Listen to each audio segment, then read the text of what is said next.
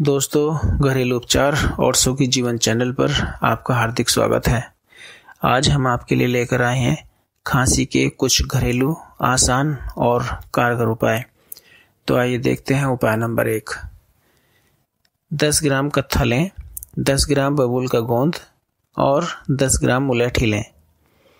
इन तीनों को कूट पीसकर बारीक पाउडर बना लें और अदरक के रस के साथ मिलाकर खूब अच्छी तरह घोट लें। और जंगली बेर के बराबर गोलियाँ बना लें। एक गोली सुबह और एक गोली शाम, मुँह में रखकर चूसते रहें। तीन दिनों के इस्तेमाल से पुरानी से पुरानी खांसी बिल्कुल ठीक हो जाएगी। उपाय नंबर दो, पंद्रह तुलसी के पत्ते लें और नौ दाने काली मिर्च के। और उसकी चाय बनाकर दिन में रोगी को तीन बार पिला दें। चाय में दूध न डालें। इसके पीने से खांसी बहुत जल्दी ठीक हो जाएगी। परहेज, खट्टी, तली और ठंडी चीज़ों का सेवन ना करें।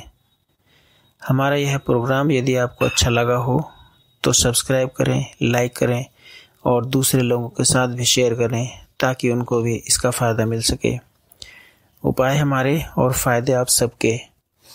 इसी ख्याल के साथ अब दीजिए इजाज़त, जल्दी ही फिर हाजिर होंगे। कुछ नए मर्ज और उनके आसान से उपायों के साथ।